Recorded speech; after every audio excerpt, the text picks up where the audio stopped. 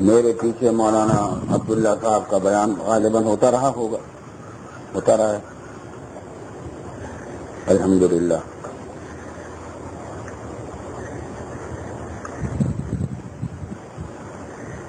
अल्लाह ताला का शुक्र अदा करना चाहिए। अल्लाह ने तौफीक दी दीन की बातें सुनने के लिए हम जमा हो जाते हैं। ये मामूली बात नहीं। है ये अल्लाह ताला का बड़ा फजल करम है। उसने ये तौफीक दे दी दीन की बातें सुनने के लिए यहाँ जमा हो गए। वरना यही वक्त किसी और काम में बेकार बातों में खर्च हो जाता, जाय हो जाता। वक्त की कदर व कीमत का अंदाज दर हकीकत आखिरत में होगा। जब हमारी ज़िंदगी के एक एक लम्हे का और एक एक हरकत व सुकून का हिसाब होने वाला है। हर अच्छे बुरे अमल का। उस वक्त बहुत से लोगों को यह हसरत होगी कि हमने फला वक्त जो बेकार गुजारा था, काश वो भी हम आखरत की तैयारी के लिए लगा देते। अभी इस कोई कदर कीमत का एहसास नहीं होता। बहरहाल ये बड़ी नेमत है कि अल्लाह ताला ने तौफीक दी है। दीन की बातें सुनने और सुनाने की। आप हजरात यहाँ आए हैं, बहुत से हजरात दूर दूर से भी आते हैं। उनके लिए भी बशारत है, सभी के लिए बशारत है। फरमाया रसूलुल्लाह सल्लल्लाहु अलैहि वसल्लम ने कि मन का तरीकन यलतमी सुफी इल्मन। लहू बिही इलल जन्ना। जो शख्स किसी रास्ते पर चलता है दीन का इल्म हासिल करने के लिए। तो अल्लाह ताला उसके लिए जन्नत आसान कर देता है। जन्नत का रास्ता आसान कर जन्नत का रास्ता आसान कर देता है। आप हजरात भी दीन की बातें सुनने के लिए आए हैं, दीन की मालूम में इजाफा करने के लिए आए हैं, इंशाल्लाह हम सब के लिए बसारत है। ये खुद एक मुस्तकिल इबादत है। दीन के लिए बात, दीन की बातें सुनने के लिए आदमी चले, कहीं चलकर आए, बैठे, वक्त लगाए।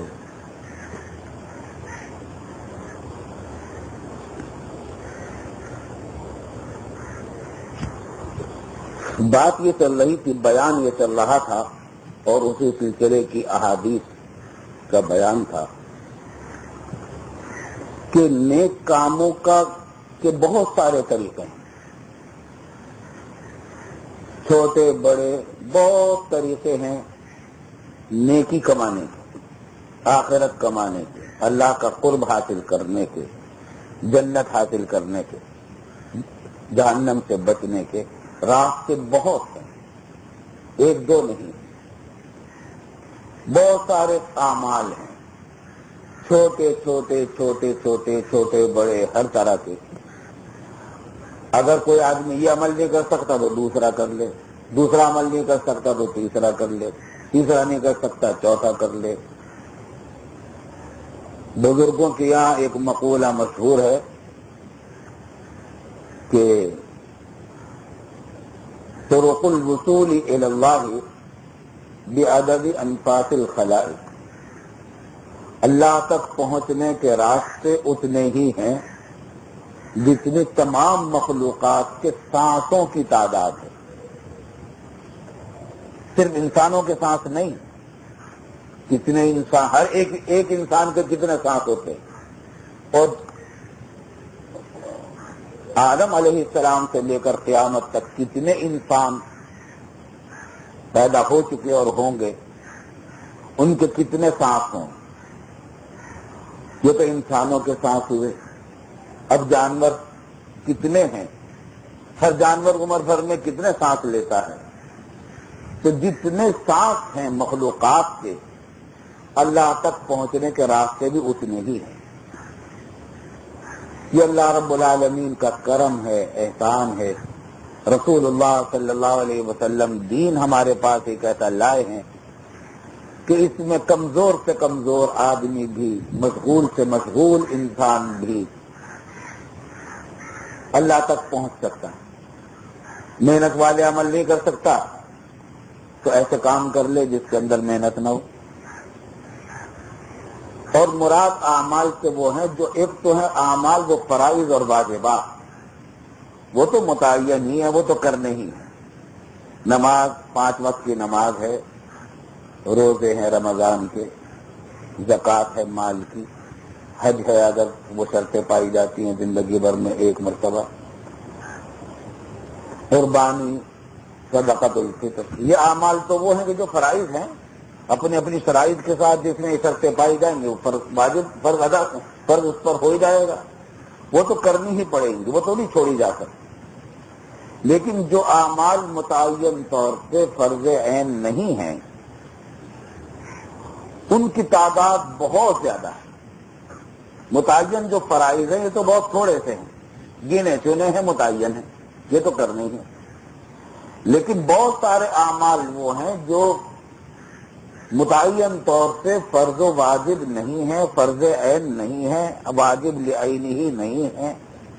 और उनमें बहुत सारे अमाल नफल हैं, मुस्तहब हैं। तो उनमें यह बात है कि अगर आदमी एक ये काम कर ले, तब भी अल्लाह तक पहुँच जाएगा। ये नहीं कर सकता, दूसरा काम कर ले, तब भी अल्लाह तक पहुँच जाएगा। तीसरा कर ले, वो वो कर ले तो तब भी अल्लाह तक पहुँच जाएगा। और अल्लाह तक पहुँचने का क्या मतलब? अल्लाह का वली बन जाएगा। वली अल्लाह बन जाएगा। अल्लाह का दोस्त हो जाएगा। और वली बने होने का क्या मतलब होता है? ये नहीं होता कि लोग ये समझते वली उसको कहते वली अल्लाह उसको कहते जो हवाओं में उड़ता हो। और गैब की बातें बताता हूँ। तो ये सब बातें नहीं है। अल्लाह का वली तो उसको कहते हैं, जो गुनाहों से बचने का एहतमाम करता हो, फराइज और वाजिबात को अदा करता हो, सुन्नत के मुताबिक ज़िंदगी गुजारता हो, वो अल्लाह का वली है। चाहे एक मरतबा भी कभी उसको कोई कश्फ और करामत न हुई हो, चाहे एक मरतबा भी कभी हवा में न उड़ा हो तो हवा में उड़ना और कश्फ करामत का ज़ोर होना, ये कोई वली होने के लिए कोई न लाजमी शर्त है, न ये अलामत है वली होने की। न उसके आदमी के दर्जात में कोई इजाफा होता है तो हाँ बाग अल्लाह वालों को अल्लाह ताला ये विलायत के साथ कोई कस्ब करामत की बात भी दे देता है, वो एक अलग बात है। लेकिन वो विलायत के लिए ज़रूरी नहीं, लाजमी नहीं। विलायत तो इसका नाम है कि अल्लाह ताला के आकाम का पाबंद हो जाए इंसान। आ हज़रत सल्लल्लाहु अलैहि वसल्लम की सुन्नत के मुताबिक ज़िंदगी गुजारने लगे। तो आदमी फराइज और वाजिबात अदा करता रहे, हराम और नाजायज कामों से बचता रहे और अल्लाह के करीब पहुँचने के जो अमाल आ रहे हैं, बहुत सारे अमाल हैं, अब आएँगे मजीद आदि उनमें से सब इख्तियार करे, बहुत अच्छी बात है। और अगर सब नहीं कर सकता तो कुछ कर ले। कोई आदमी ये काम नहीं कर सकता तो दूसरा कर ले, दूसरा नहीं कर सकता, तीसरा कर ले। यही बयान चल रहा था और अनुमान भी यही है कि बाबू बयानी कसरती तोड़ो के खैर। नेक कामों के तरीकों की कसरत का बयान। कि रास्ते बहुत सारे हैं। तरीके बहुत सारे हैं। चुनाचे।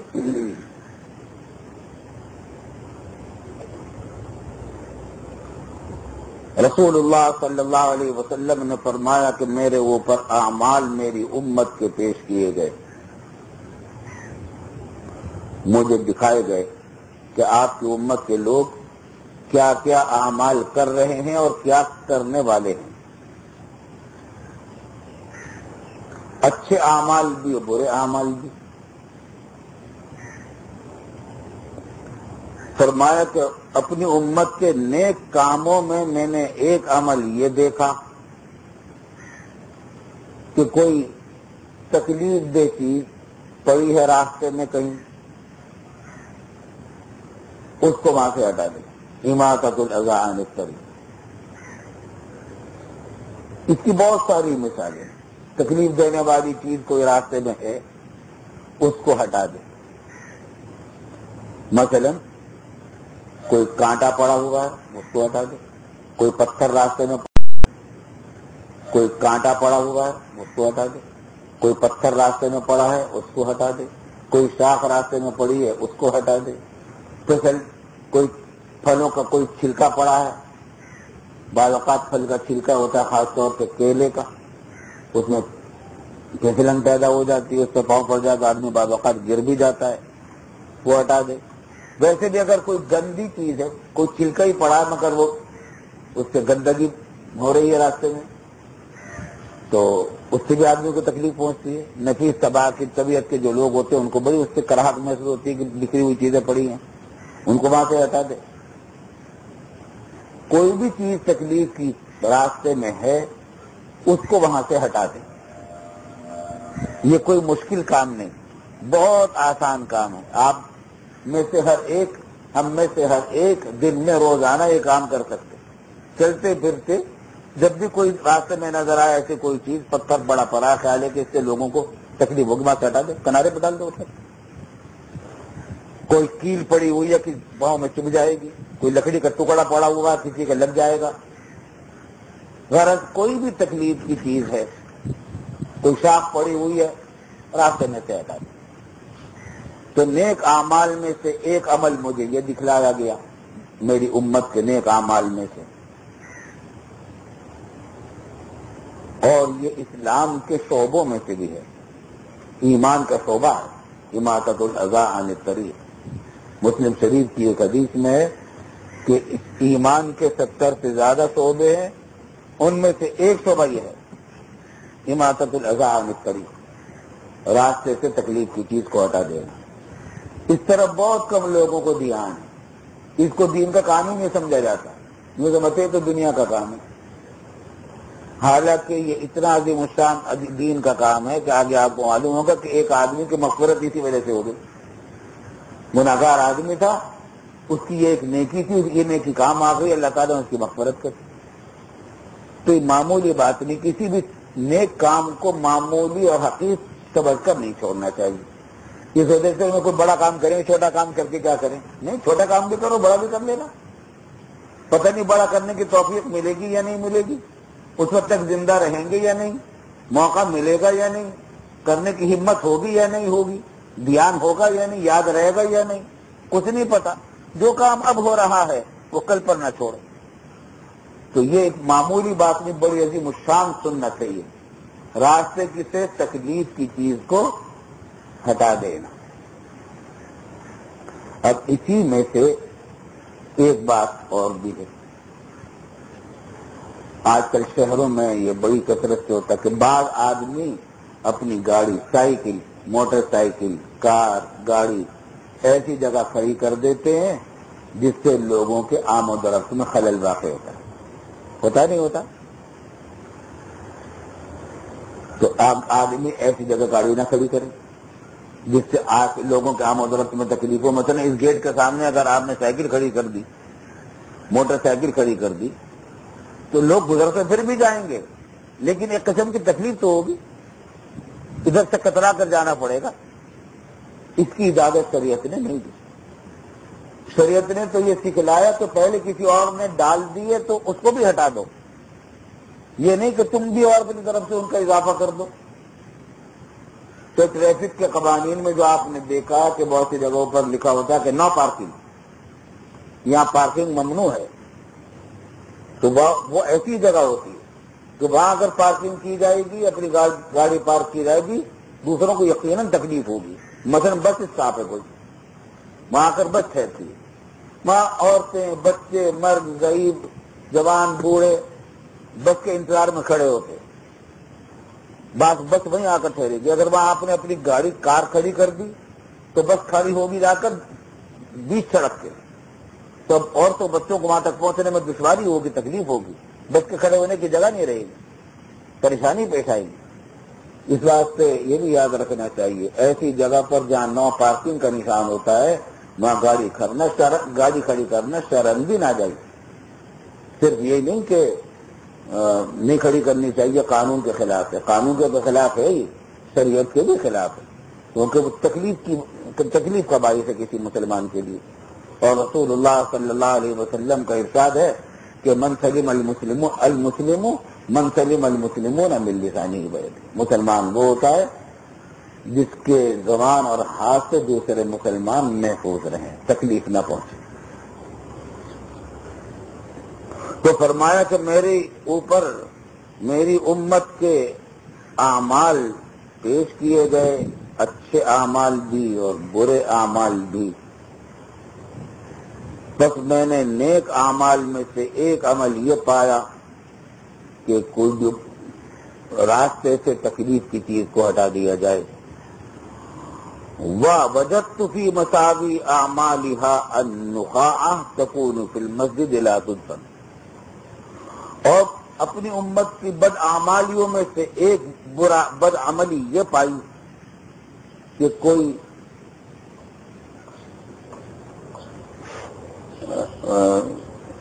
बलगम मुँह से या नाक से किसी ने निकाला और मस्जिद में डाल दिया। और फिर उसको साफ़ भी नहीं किया गया। लातुद पर फिर उसको ज़मीन में दफन नहीं किया गया। लफ्जी तर्जमा यह है। दफन करने का इस बात से ज़िक्र फरमाया रसूलुल्लाह सल्लल्लाहु अलैहि वसल्लम ने कि मस्जिद नबवी उस जमाने में मिट्टी की थी। यानी फर्श मिट्टी का था, पक्का फर्श नहीं था, कच्चा फर्श तो उसमें अगर कोई थूक देता था तो उसको साफ़ करने का रास्ता तरीका यह था कि उसको उसी ज़मीन में दफन कर दिया जाता था। उसको ज़मीन को खुरच के जरा थोड़ा सा गढ़ा करके, वो बेलगम वगैरह वो उसके अंदर कर दिया, ऊपर से मिट्टी कर दी तो वो साफ़ हो जाता। यानी गंदगी खत्म हो जाती। हासिल यह है कि सफ़ाई करना। अब हमारी मस्जिदों के अंदर दफन नहीं किया जाता। हमारी मस्जिदों में फ़र्क अल्लाह के बदल करम से इस जमाने में पक्के हैं। तो उनको साफ़ करना ज़रूरी होगा। किसी कपड़े से साफ़ कर दें और बाद में फिर किसी गीले कपड़े से उसको पर एक मरतबा और फेर दें तो वो साफ़ हो जाएगा। अब ये क्या होता है? देखिए, मस्जिदों के अंदर सहन में बसा औकात जानवर बीट कर देते, परिंदे। बीट कर देते, नहीं कर देते? ये भी उसी में शामिल है। अब हम देखते हैं बाद मस्जिदों के अंदर वो निशान पड़े रहते हैं बीच के। इस बात से वहाँ किसी ने सफ़ाई नहीं की। अच्छा लोग इस इंतज़ार में रहते हैं कि मस्जिद का खादिम साफ़ करेगा। ठीक है, उसको तो तनख्वाह इस काम की मिलती। है उसका तो फ़र्ज़ मनसबी है ही। उस पर फ़र्ज़ ऐन है कि वो उसको साफ़ करे, उसके बगैर उसकी तनख्वाह हलाल नहीं होती। लेकिन ये तनहा उसका फ़र्ज़ नहीं है। ये हर मुसलमान की ज़िम्मेदारी है। हर मुसलमान का फरीजा है। जो भी मस्जिद में आता है, मस्जिद में अगर कोई उसने गंदगी की चीज़ पाई है, देखी है तो उसको हटाना उसकी ज़िम्मेदारी है। उसको हटाना चाहिए। अगर बाद औकात किसी को नमाज़ पढ़ते पढ़ते नाक से रेजिश आ जाती है, या खांसी के साथ बलगम आ जाता है आ हज़रत सल्लल्लाहु अलैहि वसल्लम ने उसकी तल, उसका भी तरीका बतलाया। और वो ये कि थूके नहीं मस्जिद में उससे दूसरों को तकलीफ़ पहुंचेगी मलाइका को भी नफरत होती है गंदी चीज़ से। और तबीयत तली मुतबा इंसानों को भी गंदी गंदगी से तकलीफ़ होती है। तो मस्जिद में फेंके नहीं बेहरमती है ये बेअदबी है मस्जिद की। बल्कि अपने ही किसी कपड़े से अगर चादर वो रखी है चादर के पल्लू से नहीं तो अपने बदन के जो कपड़े पहन रखे हैं उन्हीं कपड़ों में से किसी से पहुँच ले, नाक को। तो कोई चादर अगर ओढ़ रखी तो उससे पहुँच ले। मस्जिद को खराब ना करे। और अगर किसी ने कर दिया और वो दूसरा देखता है तो जो भी देखे, उसकी ज़िम्मेदारी है कि वो उसको साफ़ करे। क्योंकि साफ़ न करने को हुजूर वसल्लम ने बदअमलियों में शुमार किया। तो मेरी उम्मत की बदअमलियों में मैंने एक अमल ये देखा कि मस्जिद के अंदर कोई नुका था यानी रेजिश, नाक की या मुँह का बलगम, और फिर उसको साफ़ न किया जाए। तो दो बातें हो गई। एक तो ये कि मस्जिद में ऐसी चीज़ डालना जायज़ नहीं। दूसरे कि अगर किसी ने डाल दी है तो जिसने डाली, सबसे पहला फरीदा तो उसी का है कि वो साफ़ करे।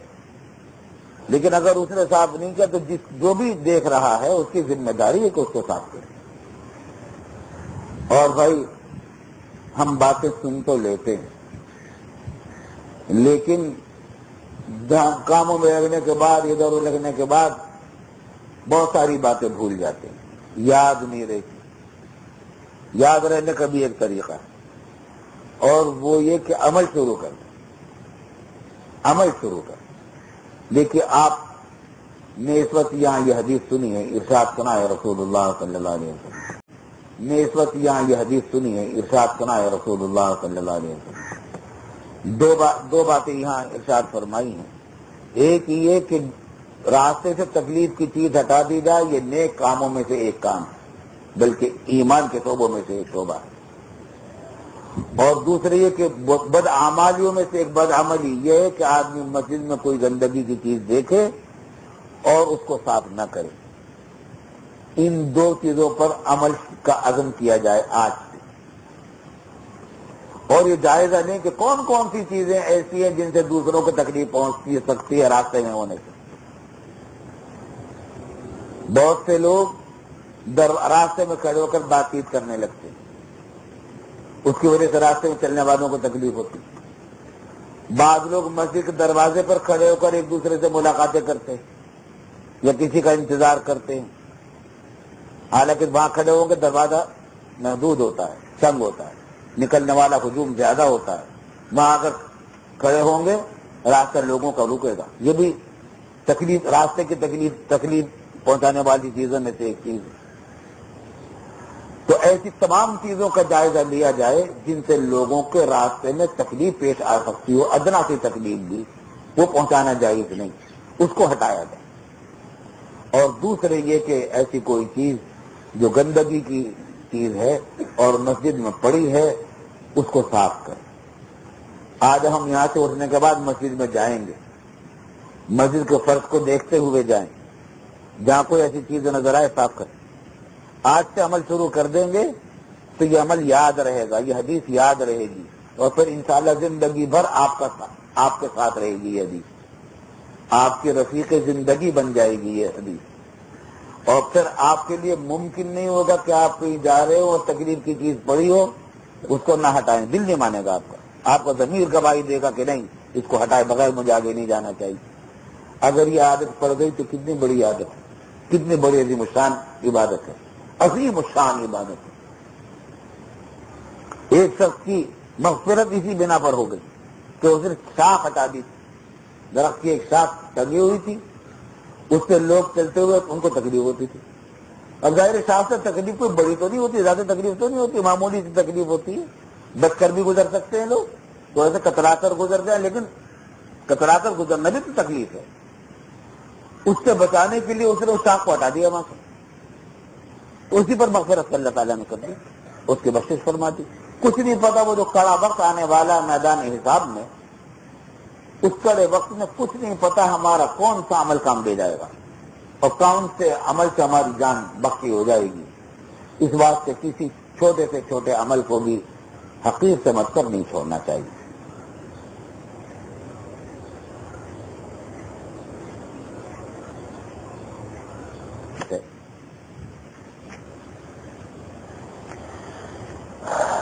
कुछ लोगों ने आ हज़रत सल्लल्लाहु अलैहि वसल्लम से ज़िक्र किया, पूछा, अपना एक, अपनी एक इश्काल ज़िक्र किया।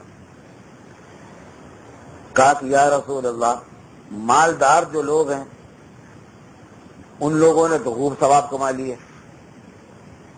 जक़ात दी, उसका सवाब मिला। कुर्बानी की, उसका सवाब मिला। सदाकतुल फितर दिया, उसका सवाब मिला। नफली सदाकत दिए, उसका सवाब मिला। तो उसका सवाब तो उनको मिला। इसके अलावा नमाज़ वो भी पढ़ते हैं, हम भी पढ़ते हैं। तो जिस तरह नमाज़ का सवाब उनको मिलेगा। तो नमाज़ का सवाब हमारी तरह मिला। माली माल का सवाब उनको अलग से मिला, जो हमें नहीं मिला।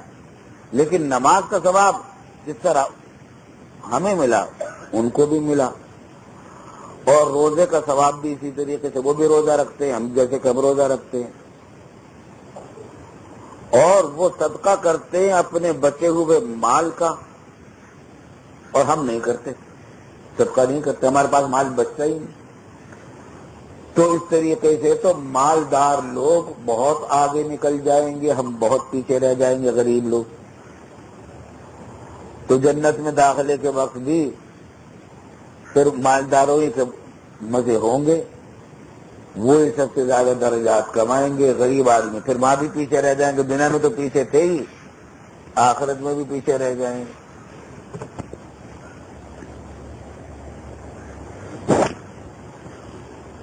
तो रसूलुल्लाह सल्लल्लाहु अलैहि वसल्लम ने फरमाया कि क्या तुम्हारे पास ऐसी कोई चीज़ नहीं जिसका तुम सदका कर सको अल्लाह के रास्ते में? सदका खैरात कर दो। फिर फरमाया कि है हर एक के पास है गरीब से गरीब के पास भी सदके का सामान है। वो क्या? इन्ना बिकुल्ली तस्बीहतिन सदका। वकुल्लु तकबीरतिन, वकुल्लु तकबीर वकुल्ली तकबीरतिन सदका, वकुल्ली तहमीदतिन सदका, वकुल्ली तहलीलतिन सदका, व अमरुम बिल मारूफ सदका, व नहजुन अनिल मुनकरी सदका वफी बुज़ अहदिकुम सदका। हाँ हज़रत सल्लल्लाहु अलैहि वसल्लम ने फरमाया कि हम तुम्हें ऐसा सदका बता देते हैं कि वो गरीब से गरीब आदमी भी कर सकता है। और वो क्या? कि सुबहान अल्लाह कह दो जबान से, ये भी सबका है। और अल्हम्दुलिल्लाह कह दो जबान से, ये भी सदका है। और अल्लाह अकबर कह दो, ये भी सबका है। और ला इलाहा इल्लल्लाह कह दो, एक मरतबा, ये भी सबका है। अब करते जाओ। बताओ, मालदारों से आगे बढ़ जाओगे नहीं? मालदार अपने इतना माल खर्च नहीं कर सकते, इतना लातादाद जितना लातादाद तुम सुबहान अल्लाह और अलहमदुल्ला और अकबर कर सकते हो। चलते, फिरते, उठते, बैठते करो। सबका होता जाएगा। मालदारों से आगे निकल जाओगे देखिए कैसा दीन है। रसूलुल्लाह सल्लल्लाहु अलैहि वसल्लम का लाया हुआ दीन। इसमें कहीं मायूसी नहीं है। मायूसी नहीं है। उम्मीद ही उम्मीद है। उम्मीद के रास्ते खुले हुए उम्मीद की रोशनी आज जगमगा रही है। किसी के लिए मायूसी का रास्ता नहीं। गरीब से गरीब आदमी ये सबका कर सकता है, नहीं कर सकता। बल्कि कमज़ोर से कमज़ोर आदमी, बीमार आदमी भी अलम और चल फिर नहीं सकता, कुछ नहीं कर सकता सुबह अल्लाह तो कह सकता है। अल्हम्दुलिल्लाह तो कह सकता है। अल्लाह अकबर अल्लाह तो कह सकता है। दुरु शरीफ तो पढ़ सकता है। इस्तेफार तो कर सकता है। ये सब सदकात है। तो फरमाया कि ये भी सदका है। और अमरुम बिल मारूफ सदका। किसी नेक काम की तलकीन करना किसी दूसरे को यह भी सदका है। नेक काम की तलकीन करना किसी दूसरे को ये भी सबका है। और बनाहजुन अनिल मुनकरी, सदा मुनकरी, सदका। किसी बुराई से किसी दूसरे को रोकना ये भी सदका है। इसको भी जरा समझ लीजिए सदका जब भी बनेगा, जब इसको कायदे में किया जाएगा, अमर बिल मारूफ और नहीं अनिल मुनकर ये बड़ा अहम फरीजा भी है, सदका तो है ही फरीजा भी है। किसी बुराई को आदमी होते हुए देखे तो उसे रोकने की मकदूर भर कोशिश करनी चाहिए, करनी ज़िम्मेदारी है मुसलमान की। और इसी तरीके से नेक काम की तरकीन करना दूसरों को, कोई नमाज़ नहीं पढ़ता, नमाज़ की तरकीब देना। ये भी सबका है और ये भी एक हद तक फरीजा है मुसलमान का। लेकिन इसमें लोगों से कोताही बहुत होती है।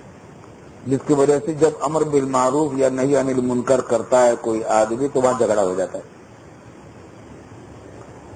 और वजह उसकी यह है कि वो तरीका नहीं जानता अमर बिल मारूफ और नहीं अनिल मुनकर का। अमर बिल मारूफ का मतलब समझ लीजिए, अमर बिल मारूफ कहते हैं, नेक काम की तलकीन करना दूसरे को। और नहीं अनिल मुनकर कहते हैं, बुरे काम से रोकने के लिए कोशिश करना। नहीं तो अमर बिल मारूफ, नहीं अनिल मुनकर, ये दो चीज़ें हैं। अच्छाइयों को फैलाने की कोशिश करना, बुराइयों को मिटाने की कोशिश करना, ये है, ये दो चीज़ें और ये कुतब आज़म है दीन का। और अपने अपने दर्जे में अपने अपने मौके पर ये हर मुसलमान पर फ़र्ज़ होते हैं। बाप है, उस पर फ़र्ज़ है कि अपनी औलाद को नमाज़ की तलकीन करे। नाजायज कामों से रोकने की कोशिश करे। शोहर पर लाजिम है कि वो बीवी को समझाए। उस्ताद पर लाजिम है कि शागिर्दों को समझाए। और अपने दोस्त एक दोस्त को लाजिम है कि वो दूसरे दोस्त को तलकीन करे। लेकिन याद रहे कि ये ये काम जितना ज़्यादा अहम और ज़रूरी है, उतना ही ये काम नाजुक भी है। इसमें अगर सुन्नत के मुताबिक ये काम किया जाएगा, लोगों को तलकीन करना, नेक कामों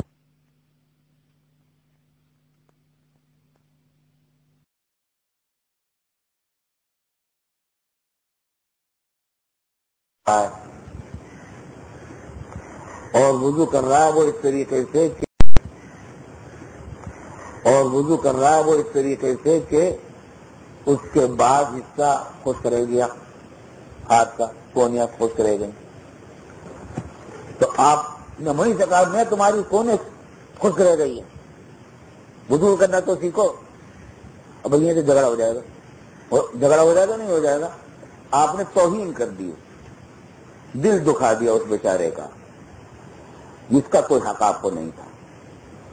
आपका काम सिर्फ़ ये था कि आप उसको याद दहानी करा देते, बता देते कि भाई तुम्हारी ये खुश करेगी। चुप कैसे जाकर कह देते उससे?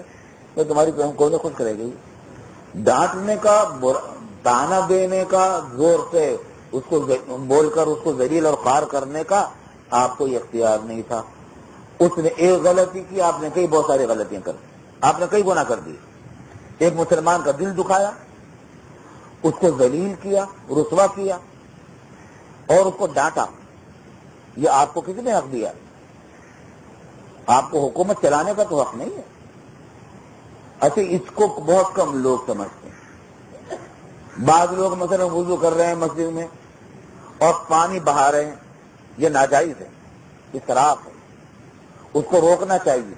लेकिन रोकने का तरीका, अगर वो आपने इख्तियार किया गबारो जाहिलाना, कि आपने डांटा तुम पानी बहा रहे हो, पानी जाए हो रहा है मस्जिद का, इसको रोको। भाई, तुम्हें क्या हक है? वो तुम्हारे शागिर्द नहीं है, तुम्हारा मातहत नहीं है तुम उसके अफसर नहीं हो। तुम कौन होते हो उसको डांटने वाले, सख्ती करने वाले? तुम दरखास्त कर सकते हो, जाकर उसके पास चुपके से जाओ और उसको कहो, भाई, आपका पानी ज़्यादा पानी बह रहा है। इसको कम कर लें आप उसके पानी की रफ्तार को। तो आप दरखास्त कर सकते हैं। डांटने का और सख्त कलामी का आपको बिल्कुल इख्तियार नहीं। और आपको तो क्या इख्तियार होता और मुझे तो क्या इख्तियार होता? हज़रत मूसा और हारून अलैहिस्सलाम को जब अल्लाह ताला ने हुक्म दिया कि तुम जाओ और फिर को अल्लाह का पैगाम पहुंचाओ, दीन का पैगाम पहुंचाओ फिर कौन था? खुदाई का दावा करता था। कहते थे रब को आला, मैं तुम्हारा सबसे बड़ा परवरदिगार हूँ, रब हूँ। उसके बारे में था कि तुम जाकर उसको ये क्या था? अमर बिल मारूफ और नई का फरीजा था ना, जो जो हज़रत मूसा और हज़रत हारून सलाम को सपुर्द किया गया। साथ साथ कुरान ने उनको इसका तरीका सिखाया और कहा कि बकूला लहू कौलन लयन लहू यतजक्करू औ यक्षा तो उसके बाद तुम नरमी, नर्म, नरमी से करना। उससे नर्म बात करना सब कलामी न करना। अब अंदाज़ा करो, हमारे वालिद माजिद रहमत फरमाया करते थे कि हमारे मुखातब फिर से ज़्यादा गुमराह नहीं। हम मूसा और हारून से ज़्यादा बड़े मुसले नहीं। जब मूसा और हारून को फिर के मुकाबले में सख्त कलामी की इजाज़त नहीं दी गई तो हमें अपने मुखातबों के मामले में सख्त कलामी की इजाज़त कैसे हो सकती? है बात समझ में आ रही है? तो ये बहुत खतरनाक बात है। इस तरफ़ बहुत कम तवज्जो होती है। यही वजह है कि मस्जिदों में आप देखेंगे जगह जगह झगड़े होते हैं। आज मस्जिदों में बजाय इसके कि अमन का और मोहब्बत का गहवारा बने, आमतौर से मस्जिदों के अंदर कुछ ना कुछ झगड़े सब नीचे पेश आती रहती वजह वही है कि आपने जब एक आदमी को इस तरीके से दलील कर दिया सबके सामने, टोक दिया उसको सबके सामने अब आइंदा उसके दिल में तो गिरा पड़ गई आपके खिलाफ। अब आइंदा वो इस फ़िक्र में रहेगा कि वो आपको भी इसी तरीके से किसी तरीके से दलील करे। आपकी बुराई दूसरों से करता फिरेगा, फिर आपको पता चलेगा तो नफरत पैदा होगी।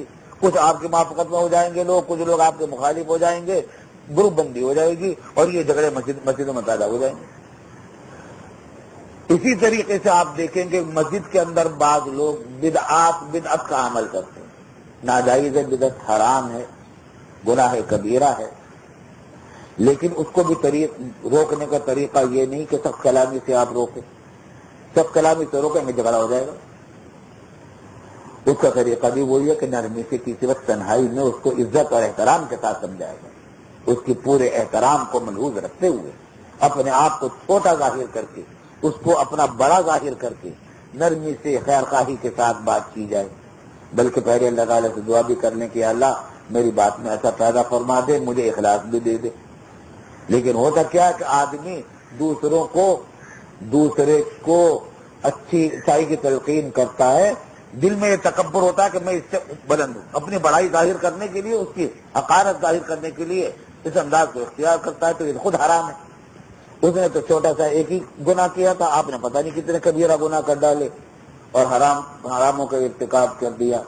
याद रखिए कि बुराई बुराई से नहीं मिटा करती, बुराई खैर से मिटा करती। एक हला, एक हराम को आप पाँच हरामों, हराम करके मिटाना चाहेंगे तो इससे तो हराम ही फैलेगा, खैर नहीं फैलेगी। तो अमर बिल मारूफ भी सदका है। बड़ा नुकसान सवाब है। और नहीं अनिल मुनकर भी सदका है। बुराई से रोकना, ये भी सदका है। खैर, सवाल ये किया था, बात साहब कराम ने कि मालदारों को तो खूब अजर मिल जाएगा, क्योंकि वो जितनी इबादतें हम करते हैं, वो भी करते हैं। और एक इबादत उनकी इजाफी है जो हम नहीं करते वो है मालिया सदका खैरात। तो इसकी वजह से वो अजर सवाब उनका बहुत ज़्यादा हो जाएगा। तो हजूर सल्लल्लाहु अलैहि वसल्लम ने फरमाया कि क्या तुम्हारे पास ऐसी चीज़ नहीं जो तुम सदका कर सको? और फिर बताया कि ये चीज़ें भी सदका हैं, तुम ये क्या करो? तो बराबर हो जाएगा। एक, एक और हदीस में। ये बात मालदारों ने भी सुन ली। जो नुस्खा हुजूर वसल्लम ने इन सहाबा कराम को बतलाया था उन्होंने ये शुरू कर दिया।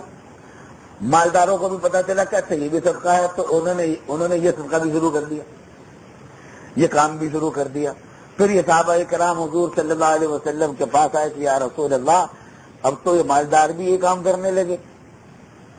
तो फरमाया गजाली का फजल्ला योफी ही मैशा ये अल्लाह ताला का फजल करम है, जिसको चाहता है, दे देता है। तो ये अल्लाह ताला की तरफ़ से उनको इनाम मिला है जो दोनों चीज़ों की तोफीक दे रखी है।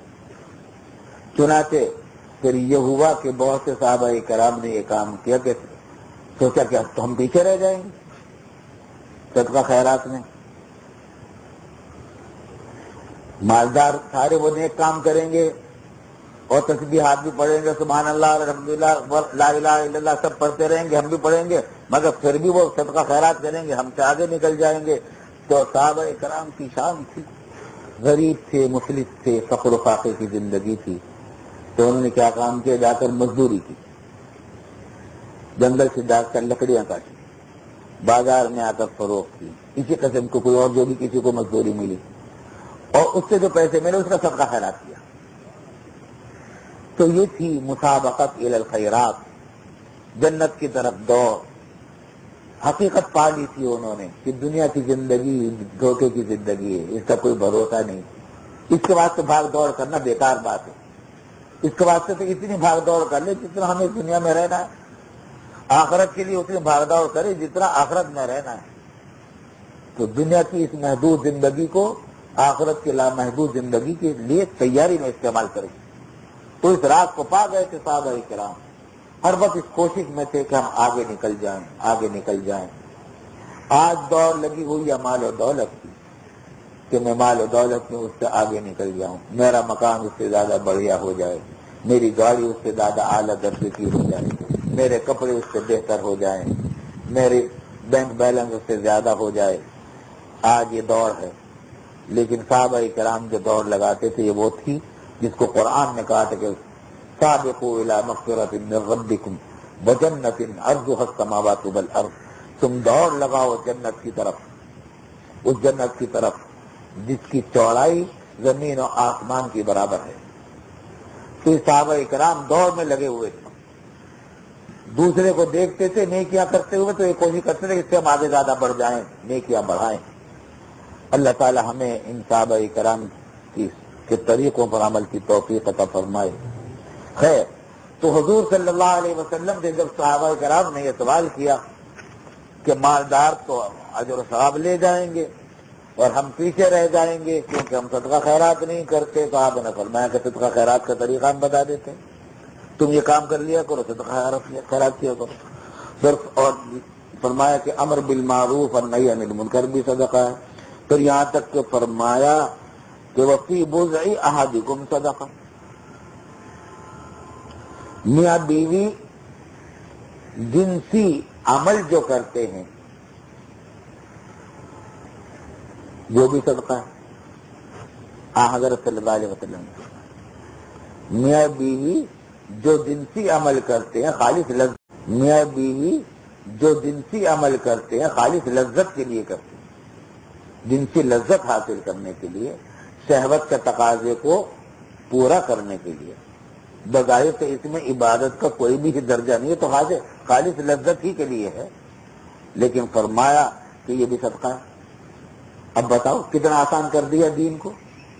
लजीज तरीन अमल को भी अल्लाह ताला ने सदका बना दिया। शर्त ये कि जायज़ तरीके से हो बीवी के साथ हो, आराम आराम से बचे। तो साहब कराम को ताजुब हुआ। और पूछा कि, या रसूल अल्लाह अयाती अहदुना शहावत बयकून लहू फीहा अजर क्या आदमी अपनी शहावत को पूरी करे तो क्या उसमें भी उसको सवाब मिलेगा? आपने फरमाया कि, तुम मुझे बताओ, अगर वो ये शहावत को पूरा हराम तरीके से करता तो वो ना होता उसको या ना होता? साहब ने, कलाम ने कहा कि हाँ होता। तो फरमाया कि, इसी तरह का जब वो उसने हलाल तरीके से इस अमल को किया उसके अंदर उसको सवाब हो। अब देखिए, दीन को अल्लाह ताला ने कितना आसान कर दिया। हमारे हजूर सल्लल्लाहु अलैहि वसल्लम कैसा आसान दीन छोड़ गए कैसे आसान दीन दे गए। जब ये कहा जाता है कि सुन्नत पर अमल करो, उससे मुराद ये तालीमत होती है हजूर सल्लल्लाहु अलैहि वसल्लम दे रखी हैं। इन पर अमल करो। अब बताइए कितने अमल ऐसे हैं कि इनमें से किसी अमल में, देखिए सुबह अल्लाह, अल्हम्दुलिल्लाह, ला अल्लाह अकबर। ये पढ़ना, इनमें कोई वक्त खर्च होता? अच्छा ये भी पाबंदी नहीं कि बैठकर पढ़ो। ये भी पाबंदी नहीं कि बावजू होकर पढ़ो। ये भी पाबंदी नहीं कि हालत जनाबत में ना हो। ये भी पाबंदी नहीं कि किबले की तरफ़ मुकर के पढ़ो। नहीं, जिस हालत में हो पढ़ लो। चलते, फिरते, उठते, बैठते, आप काम कर रहे हैं, बाज़ार जा रहे हैं। सुबह अल्लाह सुबह पढ़ते चलिए किसी गिनती के बगैर। अलहमदिल्ला अलहमदिल्ला ला इलाहा अस्तगफिरुल्लाह दुरुद शरीफ इतनी नेकियाँ जमा होती चली जाएँगी। अब देखिए, ना पैसा, पैसे का खर्च है, ना वक्त का खर्च है, ना मेहनत का खर्च है। तो अल्लाह तक पहुँचने के इतने रास्ते हैं। अगर किसी के पास वक्त नहीं है तो इस इस रास्ते से जन्नत पर पहुँच सकता है। किसी के पास ताकत नहीं, बड़ी ये बात है तो कि जिहाद की उसके अंदर ताकत नहीं है, अल्लाह के रास्ते में जिहाद करने की। तबलीग में निकलने की उसके पास ताकत नहीं है। इल्म दीन में अपनी ज़िंदगी लगाने का मौका उसको नहीं है। एक ताजिर है, मुलाजिम है, मजदूर है, वो ये काम करे। इसी इसी रास्ते से विलायत हासिल कर लेगा। इस रास्ते से अल्लाह का वली बन जाएगा। अल्लाह का खुद हासिल हो जाएगा, जन्नत में दर्जात उसके बढ़ते चले जाएँगे।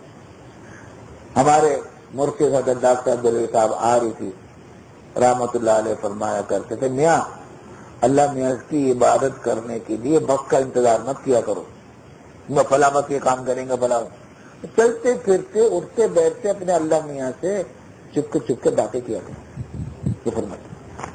चलते फिरते, उठते बैठते अपने अल्लाह मियाँ से चुपके चुपके बातें किया करो। वो चुपके चुपके बातें गई है। कभी सुबह अल्लाह कह दिया, कभी अलहमदिल्ला कह दिया, कभी अल्लाह अकबर कह दिया, कभी ला कह दिया, कभी असफरल्ला कह दिया, कभी अऊजुबिल्ला कह दिया। और कभी इस्तफार कर ली। वो कुरान शरीफ याद है तो कुरान की कोई सूरत है, वो पढ़ ली। कुरान शरीफ के तो एक एक हर पर दस दस नीतियाँ मिलती है। कुरान शरीफ के पढ़ने में सिर्फ़ एक पाबंदी है कि हालत जनाबत में कुरान नहीं पढ़ सकते और छू भी नहीं सकते। लेकिन हालत जनाबत न हो तो बगैर वज़ू के पढ़ सकते हैं छू नहीं सकते। और कुरान के अलावा बाकी तमाम ज़िक्र जो हैं, उनमें कोई भी पाबंदी नहीं, हालत जनाबत में भी पढ़ सकते हैं। हर हर ज़िक्र किया जा सकता है, कुरान के अलावा। तो देखिए लता ने कितना आसान कर रखा है अपने कुर्ब को हासिल करने का तरीका। इसे जो है रिवायत की हज़रत अबू जर गिफारी रज़ी अल्लाह अनहु ने। ये खुद फकर फकर की ज़िंदगी पसंद करते थे। इनका हाल ये था कि अपने पास पैसे जमा करके नहीं रखते बस जो कुछ आया, खाया, पिया, खत्म हुआ, जो कुछ बाकी बचा, सब अल्लाह के रास्ते गुलाम जो था इनका, जो खुद खाते थे, वो गुलाम को खिलाते थे। जैसा कपड़ा खुद पहनते थे, वैसे कपड़ा अपने गुलाम को पहनाते थे। और पैसा बचा के नहीं रखते थे। कल के वास्ते बचा के नहीं रखते बस जो कुछ आया, खत्म किया। तो फकीराना ज़िंदगी थी। उनकी रिवायत करदा हदीसें हैं। एक और हदीस है। फरमाते अबू जर गिफारी रज़ी अल्लाह फरमाते कि मुझसे फरमाया, नबी सल्लल्लाहु अलैहि वसल्लम ने कि ला तहकिरन्ना मिन अल मारूफ शैअन वलौ अन तलका अखाका बिवजहिन तलीक।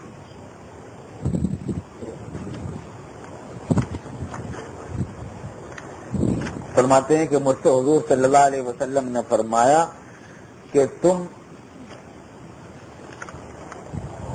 किसी भी नेक काम को हकीर न समझना। किसी भी नेक काम को हकीर न समझना और हकीर समझ के न छोड़ देना कि मैं छोटा काम है, बड़ा काम करेंगे।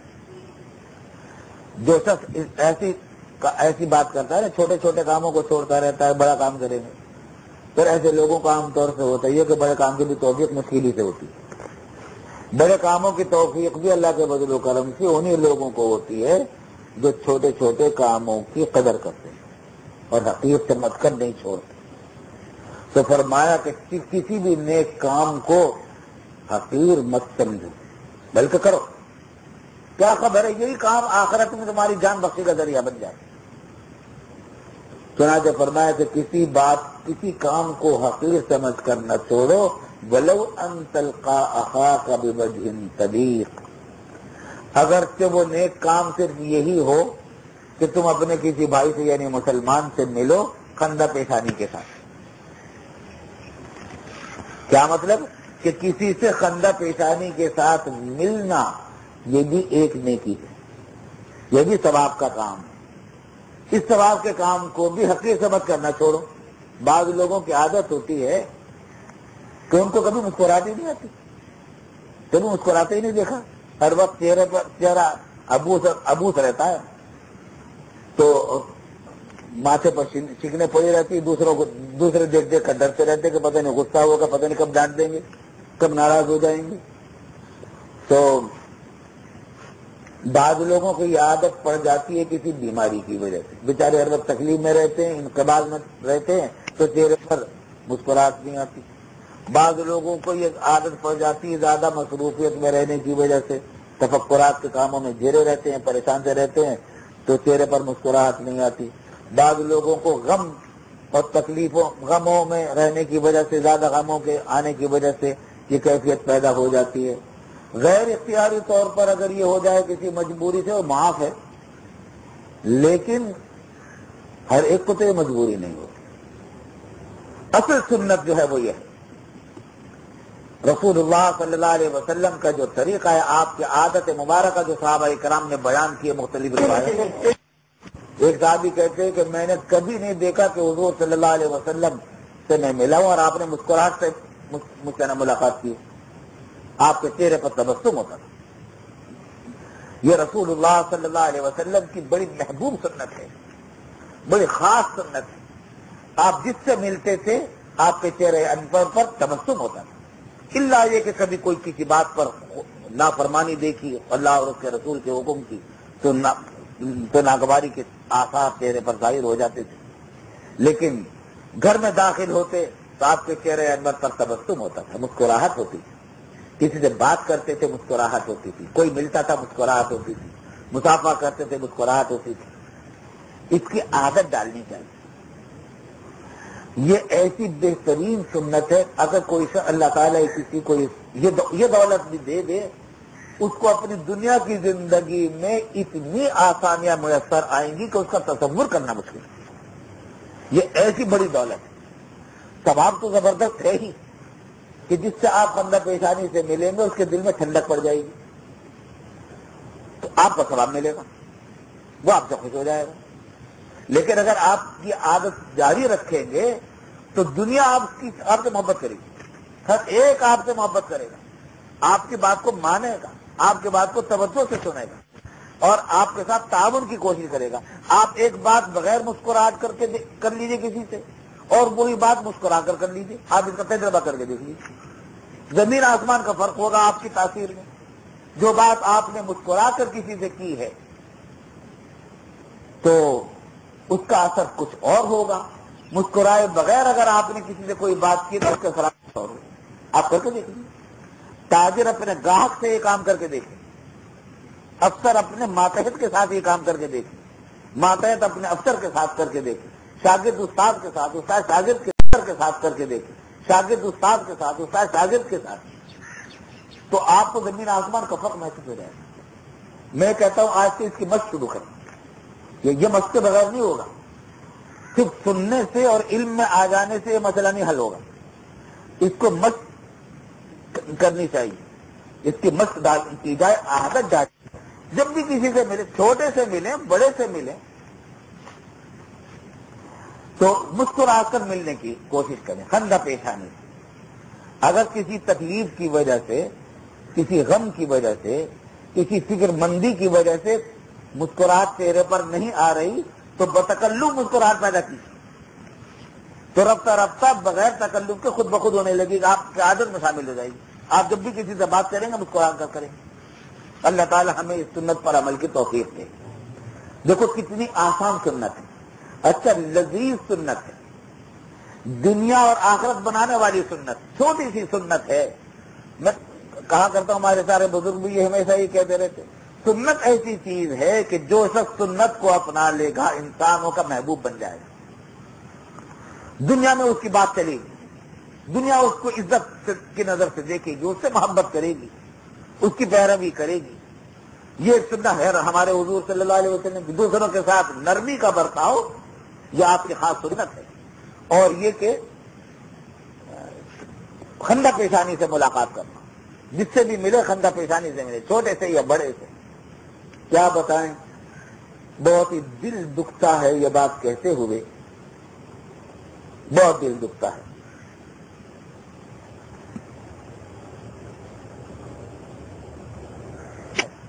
इस सुन्नत पर मुसलमानों के यहाँ भी अमल करने वाले करते हैं बहुत से मुसलमान। लेकिन बहुत कम। हमारे यहाँ इसका रिवाज साजो नादी ही है। बहुत कम लोगों के चेहरों पर मुलाकात के वक्त में मुस्कुराहट नज़र आती है। दुकान पर जाएँ, दुकानदार के चेहरे पर मुस्कुराहट कम नज़र आएगी। गाहक के चेहरे पर मुस्कुराहट कम नज़र आएगी। मुला, दो मुलाकातियों को देखो मुस्कुराहट कम नज़र आएगी। इस सुन्नत पर अमल हमारे यहाँ बहुत कम है। और बहुत ही दुखे हुए दिल से कहता हूँ कि वो लोग ये यूरोप और अमेरिका के लोग हैं, इनकी बहुत सारी खराबियाँ तो खैर हम जानते हैं, सबसे बड़ी खराबी तो कुफर और शिरक है उनका, सबसे बड़ी जहालत गुमराही। और उनके फिस्को फजूर हैं, शराबखोरी, हरामखोरी, बेहयाई, ये सब खराबियाँ हैं। लेकिन बहुत सारे आमाल वो हैं, जो हमारे हजूर सल्लल्लाहु अलैहि वसल्लम ने अपनी उम्मत को सिखाए थे। लेकिन हमारी, हम लोगों ने वो तकरीबन छोड़ दिए। उन्होंने इख्तियार कर लिए। वो आमाल ऐसे थे कि दुनिया की तरक्की के लिए बेनजीर थे। वो लोग चूँकि दुनिया के तो तालिब हैं ही, आखरत से तो उनको कोई सरोकार है नहीं। उनको तो दुना दुनिया चाहिए। तो हुजूर सल्लल्लाहु अलैहि वसल्लम की बताई जितनी तालीमात ऐसी थी जिससे दुनिया की तरक्की हासिल हो, वो सारी की सारी उन्होंने ले ली। तकरीबन सारी की सारी ले बाकी जो है जिनसे आखरत बर्बाद होती है उनको आखरत से कोई सरोकार नहीं आखरत का अकीदा भी उनका न होने के बराबर है तो उनके अमाल उस, उसकी वजह खराब है। लेकिन दुनिया बनाने वाले जो आमाल हैं उनमें से उन्होंने अक्सर वो ले लिए जो रसूलुल्लाह सल्लल्लाहु अलैहि वसल्लम हाँ कुछ आमाल ऐसे हैं जो उनके दुनिया को भी बर्बाद कर रहे हैं। मसलन फहासी और उरियानी। इससे उनकी दुनिया भी बर्बाद हो रही है। बीमारियाँ फैल रही हैं तरह तरह के मसाइल पैदा हो रहे हैं, खानदानी माशरती मसाइल पैदा हो रहे हैं और मुसीबत में गिरफ़्तार हो रहे हैं। तो खराबियाँ जो पैदा हो रही है, मुसीबतें जो उनकी कुछ आ रही है, वो उन आमाल की वजह से आ रही है जो शरीयत ने, इस्लाम ने मना किए और जिनकी तरगीब रसूलुल्लाह सल्लल्लाहु अलैहि वसल्लम ने दी थी और उनका ताल्लुक था दुनिया की तरक्की से, वो तकरीबन सारे के सारे उन्होंने अपना लिए। अब वहाँ की कैफियत यह है कि आप इंग्लैंड में जाइए, बरतानिया में। या खास तौर से बरतानिया में, स्विट्जरलैंड में और यूरोप के मुख्तलिफ़ ममालिक। सब में नहीं यही कहते बाग ममालिक में बाग ममालिक। बरतानिया में आप जाइए, जिस, जो, जिससे आप बात करेंगे, मर्द हो या औरत, कोई भी आप बात करेंगे, वो मुस्कुरा कर उससे जवाब मुस्कुराए बगैर आपसे बात नहीं आप किसी से पूछें रास्ता पूछें, वो मुस्कुरा कर जवाब देगा। हालाँकि आपका वो काम कर रहा है। हत्या के पुलिस वाला भी जब चालान करता है किसी का, ट्रैफ़िक पुलिस वाला तो वो आकर इस बदतमीजी से बात नहीं करता जिस तरह हमारे यहाँ के पुलिस वाले करते हैं। उनका तो तरीका सीधा साधा ये है कि वो आएगा और एक टिकट दे देगा। उसके हाथ में समा देगा ये उसमें लिखा हुआ होता है कि फना तारीख तक आप इतने पैसे जुर्माने के जमा करा दें वहाँ, अदालत में। नहीं जमा कराएँगे तो आपकी गाड़ी जब्त हो जाएगी फलाम फलाम हो जाएगा। लेकिन वो आएगा तो गुड मॉर्निंग करेगा, सलाम करेगा और मुस्कुराकर उसको एक टिकट देगा, फिर कहेगा, वेरी सॉरी, माफ़ करना।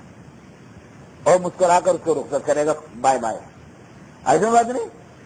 तो लेकिन देखो ना, सुन्नत, ये अमल जो है मुस्कुरा कर बात करने का रसूलुल्लाह सल्लल्लाहु की तालीम है नतीजा ये कि माँ पुलिस वाले से किसी का झगड़ा नहीं होता।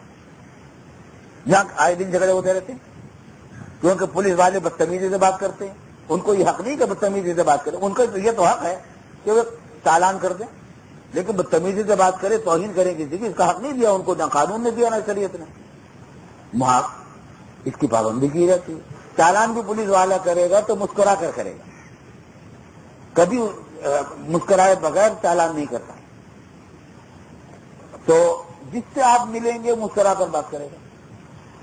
यानी बरतानिया में तो तकरीबन सौ फ़ीसद है ये, और स्विट्जरलैंड में, और दूसरे ममालिक में, और अमेरिका में, और जर्मनी वगैरह में भी बकसरत है। सौ फ़ीसद न सही तकरीबन, लेकिन बकसरत है। तो उनका रिवाज है। जब भी किसी से बात करेंगे, कोई बात करेंगे या पूछेंगे या जवाब देंगे, मुस्कुरा कर बात करेंगे। तो भाई ये भी एक सुन्नत है। और हुजूर सल्लल्लाहु अलैहि वसल्लम की बताई हुई सुन्नत है। इसमें एक सवाब तो यही है कि आखरत का सवाब है। अल्लाह इससे राज़ी होते हैं। दूसरा दुनिया का फ़ायदा आप अपनी आँखों से देख लेंगे। आप इसकी आदत डालकर देख लें। आज से इस पर भी अमल शुरू करें। हम भी कोशिश करते हैं। एक दूसरे को याद भी दिला दिया करें। अगर मिलते वक्त मुस्कुराहट न आए तो याद दिला दो अपने साथी को, मैं तुम मुस्कुराए नहीं हो। दोस्तों से हाँ याद दिला दो क्या बात है? तो आप इसमें अगर ये तस्करे होने लगे, एक दूसरे को याद दहानी कराई जाने लगे तो हमारे माशरे में ऐसी खूबी पैदा हो जाए कि शहरी सेहत भूल जाए।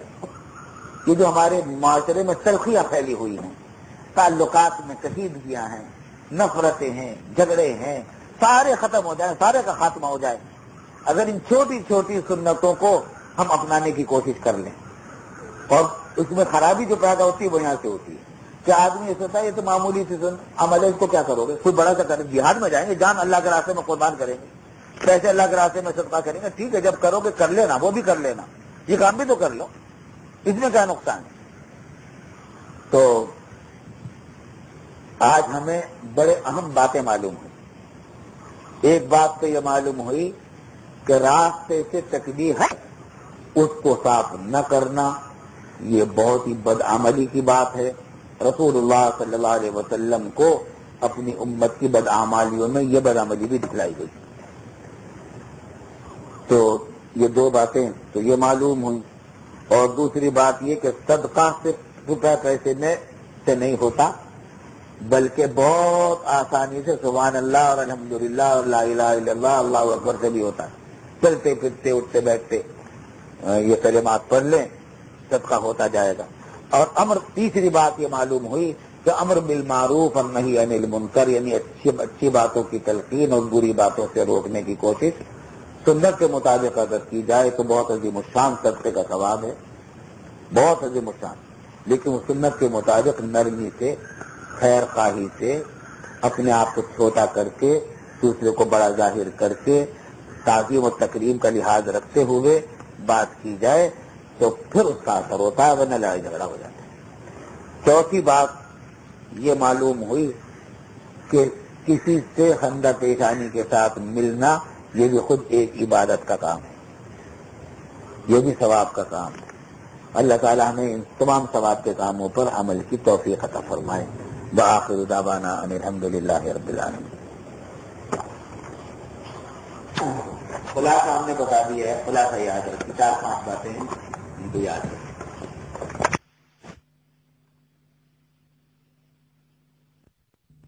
तैयार करदा इल्मी कैसेट घर केसीट और सीडी मिलने का पता नो फमाल है। इल्मी कैसेट घर, दुकान नंबर पाँच, फातमा प्लाजा, बिल मुकाबिल मदनी मस्जिद फडलबी एरिया कराची। फ़ोन नंबर छः तीन सात सिफर आठ एक तीन।